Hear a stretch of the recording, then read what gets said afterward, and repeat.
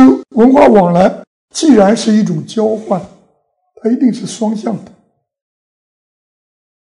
他有石头过来了，珍贵的宝石过来了，我们这边出去一些什么东西呢？我们今天的甲骨文文献一个字也没有提到，主要我们现在只能依靠考古发掘的结果。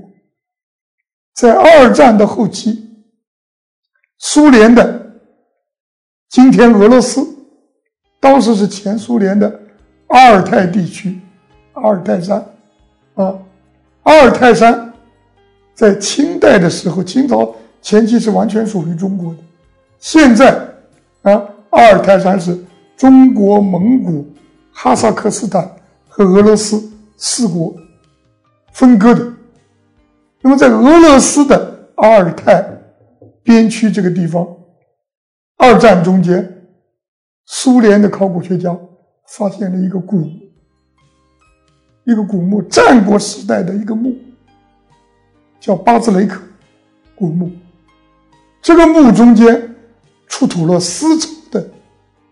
残件，丝绸上有凤凤鸟的纹样，肯定是出自于中原地区的。因此呢，这成了一个非常好的一个证据，证明啊，在远远早于张骞的时代，就有人把中国内地生产的丝绸。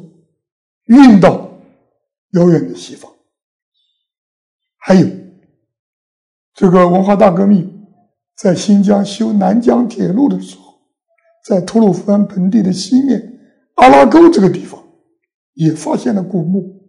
这个古墓中间也有汉以前的古代的丝绸的发现。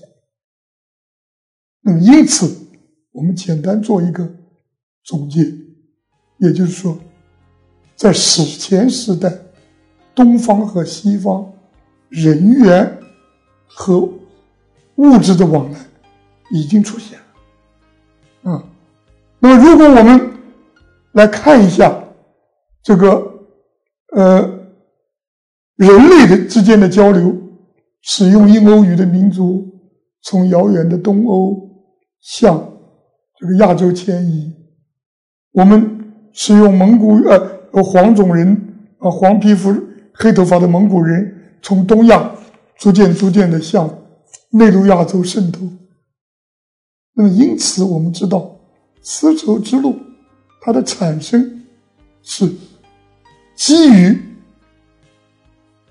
啊，植根于呃我们遥远东方远东地区、东亚大陆的人类和我们的邻居内陆亚洲的居民。之间的这种交往，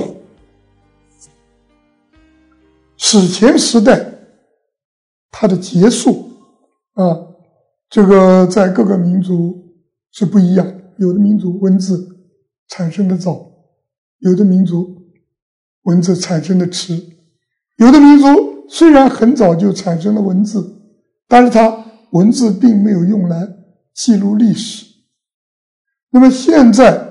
有明确的历史文献文字记载的内陆亚洲地区的这个王国民族，最早是从波斯人开始的。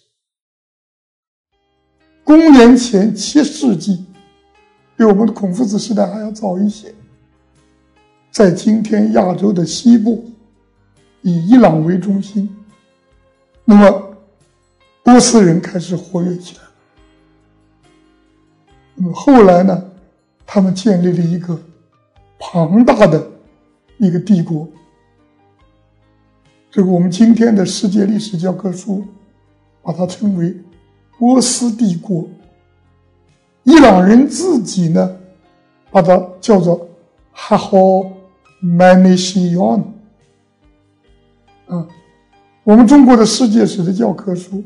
也把它叫做阿黑门尼德王朝或者阿契美尼德王朝，是古代的这个波斯人建立的。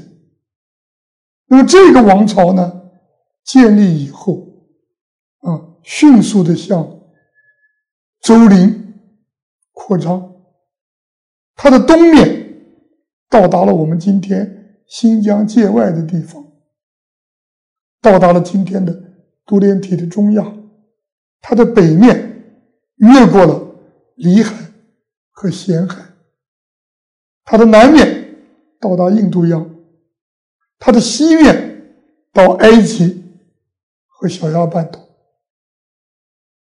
这个时代，这个最呃小亚半岛上和波斯帝国啊旗鼓相当的最强有力的对手是希腊人，嗯，波斯人和希腊人打了很多年的仗。那么中间有一次战役，我们知道，就是纪念马拉松赛跑的，啊，这个希腊的一个战士啊，为了报告。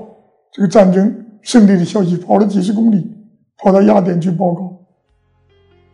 我不知道现在世界的每年马拉松赛跑运动会，伊朗人参加不参加？这个等于是希腊人为了报告打败波斯人的消息的。那么这两大强国在亚洲的西部爱琴海对峙了很多年。这个伊朗。这个波斯帝国呢，它最主要的宗教叫拜火教，啊，又叫仙教，一个士字旁加个天上的天，又叫仙教。嗯，那么这个民族今天留下来的最重要的历史遗迹有两两两类，一类。就是在今天伊朗南部的一个遗址，叫 p o s e p o l i s 波斯城，有巨大的宫殿的遗迹，有居鲁士国王的坟墓，那么有巨大的这个神坛，高高的柱子，石头的建筑，很像巴比伦时代的建筑，这是一。第二呢，在伊朗啊。各处还有刻在其悬崖峭壁上的铭文，我们把它叫做古波斯的文的铭文。那么这些铭文描述了波斯帝国的皇帝居鲁士、大流士对埃及的征服、对周围民族的统治。嗯，波斯和。希腊之间的战争的结果，造成了从内陆亚洲到欧洲之间，啊，交通变得方便。这个波斯帝国的建立，那么这是人类历史上第一个这个地跨内陆亚洲到这个非洲，埃及属于非洲，这个到呃欧洲巴尔干。这么一个庞大的帝国，是人类历史上第一个。嗯，波斯人和希腊人的对抗持续了这个上百年。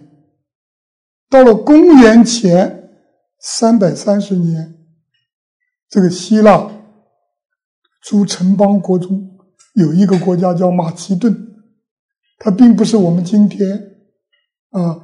从南斯拉夫分裂出来的那个马其顿共和国，这个马其顿是斯拉夫人，不是希腊人。这个波斯啊所面对的这个马其顿是希腊人的一支。这个马其顿的国王的儿子，他的名字叫亚历山大，继承了王位。啊，由于他的丰功伟绩，后来这个。史学家把他称为亚历山大大帝，啊，Alexander the Great，把他称之为亚历山大大帝。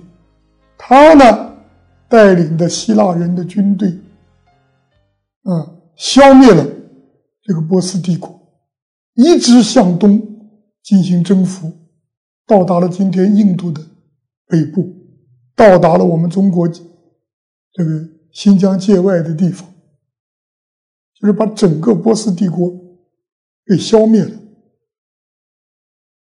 时间是公元前三百三十年，相当于我们的战国时代。那么亚历山大的这个伟大的功绩啊，在历史上，在很多民族中间都得到传颂。嗯。波斯人把这个希腊人叫做啊语叫做语南，在印度的在佛教文献中间叫于那，于就是丰腴的腴，一个肉字旁加一个搜，那里的那。那么在我们的这个回回人。回族人的文献中间，把它写成叫欲纳，欲望的欲，那里的那。而希腊人呢，叫做欲纳尼。为什么我们印度的佛教文献和啊伊斯兰的文献把希腊人要叫做于那呢？来源于希腊人的一支，希腊南部有个海洋叫爱奥尼亚海。（Ionian） 于那就是这个字的翻译。他们是希腊人的一支，嗯。那么在马其顿这个亚历山大的统治下，这个原来波斯帝国的各个民族继续在他们自己原来的地方生活着。那么当时呢？在亚在欧亚草原的北部，今天从黑海一直到乌拉尔山地区，到咸海地区，这个地区的居民被称之为啊萨尔马提亚人或者马萨格泰人。这个今天独联体中亚啊乌兹别克斯坦。周围的地区，以阿姆河和希尔河这两条大河，啊，中游地区为中心的呢，生活着粟特人 s o t 啊。那么在希尔河以东的草原，相当于今天的哈萨克斯坦、吉尔吉斯斯坦，当时生活的居民被称之为。萨卡，S-A-K-A。那么，萨卡这个民族在古波斯的铭文中间已经出现了。我们中国的《史记》把这个名字翻为“塞种”，塞啊，边塞诗的塞。亚历山大完成了征服以后，很快就去世了。他留下了一个帝国，那么这个帝国呢？它在亚洲的部分以今天的伊拉克为中心。那么这个帝国的东部叫做塞琉古王朝 （Seleucia）。再向东还有地方，还有希腊的将领所统治的一些领地，在今天的阿富汗和乌兹别克斯坦之间的地方。那么这个地方叫巴克特利亚 b a c t r i。亚历山大带领的希腊人大部分都没有回去。那么这些希腊人呢，在当地定居下来了。他们在中亚地区发扬他们从故乡带来的希腊的文化，所以呢，在波斯帝国以后，内陆亚洲地区进入了一个希腊化的阶段，我们叫做 Hellenistic period。使用希腊字母来拼写啊，希腊文。那么人呢，照相也像希腊人一样站的时候，一个一一个腿弯，一腿微微弯曲，像像像像那个啊雅典娜那个造型一样的啊，一个腿啊维纳斯一样，一个腿微微弯曲，一个腿站直啊，这个身上的衣服的。紧贴着自己的躯体啊，能够这个呃体现出人体的这个构造，这种呃塑造人的技艺被希腊人带到了中亚。在这个时代呢，在印度本土，释迦牟尼所创造的佛教也已经传到了中亚。传到中亚以后，由于希腊化影文化的影响，那么当地的佛教就带有希腊的色彩。什么色彩呢？就出现了佛教人物的造像，开始塑造佛像，要用石头雕，用泥胎来做。那么这种佛教的造像，后来就被称之为犍陀罗文化。啊，犍陀罗风格，甘达拉 style，这就是我们后来在中国境内开凿石窟啊，雕造佛像的起源啊，也就是我们中国境内开凿石窟、雕造佛像的源头，并不能直接追到我们的秦始皇的兵马俑，而是要向上追溯到有西北印度希腊化的时代。希腊人到达了遥远的东方，那么他们间接的知道了一些中国的消息，在后来希腊和拉丁文的文献中间，开始出现了对中国的描述。那中国给他们最深的印象是什么呢？就是丝绸。所以呢，希腊人、罗马人。把中国叫做塞里斯国，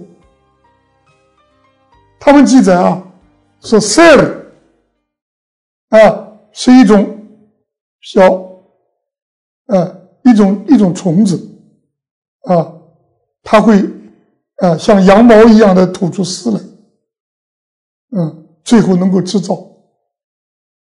所以塞里斯国实际上指的就是丝国。啊，今天我们英语丝绸 （silk） 这个字也是从 “sell” 啊演变而来的。那么讲到这儿，我们一直讲的是啊中原以外的事情。为什么要讲中原、讲我们中国以外的事情呢？丝绸之路并不是一开始就从东到西完全畅通的，并不是的。那，当我们看到了啊，这个波斯人所创建的这个波斯帝国，当我们看到了亚历山大的东征，他从巴尔干半岛率领的军队一直到达了印度，到达了我们中国的西北边疆附近的地方。那么这个时候呢，实际上丝绸之路的西段，今天我们中国以西的地方。已经打通了，没有障碍了。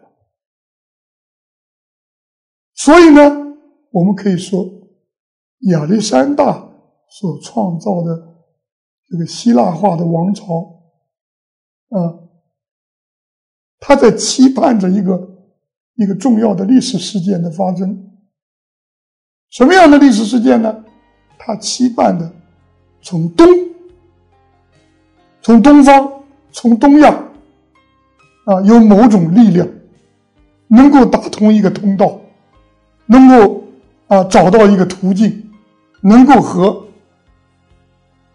波斯帝国的交通线，能够和亚历山大希腊帝国的交通线能够连接起来，因为双方已经相距不远了，它的意义就在这个地方。